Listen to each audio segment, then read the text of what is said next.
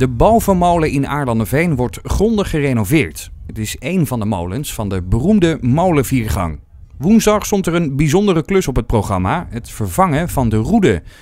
Het opknappen van het bijzondere monument is volgens betrokkenen geen overbodige luxe. We hadden een grote achterstand in onderhoud.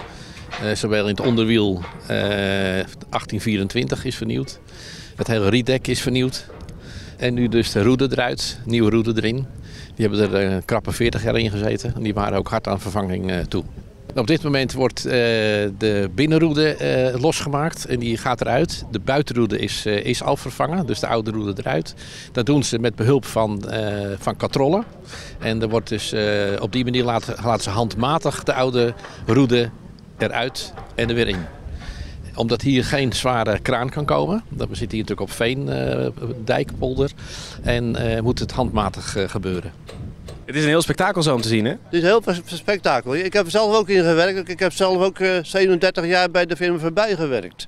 Als molenmakersknecht. Dus ik weet precies wat er nou, nou allemaal gaande is. Wat, wat ze allemaal aan het doen zijn. Ik zag net al dat u lekker was gaan zitten op een van de wieken. Ja, ja. ja dat, uh, omdat het wat langer duurde, ben ik even gaan zitten. En, uh, dat, nou, ze zijn stevig genoeg om op te zitten. Ze zijn goedgekeurd door de buurt. Ja, prima. prima. Is het nou ook wennen dat hij uh, een nieuwe kleur heeft? Het is, uh, het is prachtig geworden, het is een mooi resultaat. Dus het is een tijdje, ze zijn hard aan het werk geweest. Maar het is weer een mooi resultaat. Het zit allemaal netjes in het riet en uh, geverfd. En, uh, heel mooi. Ja. Nou, eerst denk je van een tonnetje of vier, daar redden we het wel mee. Maar we zitten inmiddels aan een half miljoen.